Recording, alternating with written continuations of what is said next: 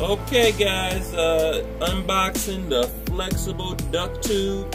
It's my first time getting one of these. Usually I just get it at the local hardware store uh, and run it. But this time I went on ahead and got one of the uh, insulated boys.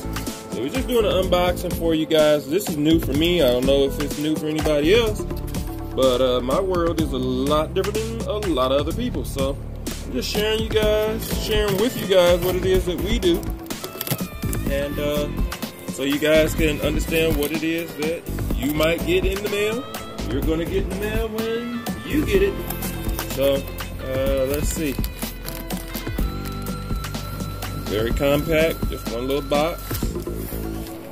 Let's see. Okay. Yeah, 25 feet. This is 25 feet in length. We got a full length of that 25 feet right there. And so uh, six inch, six inch round. And uh, it looks like in the box as well, you got more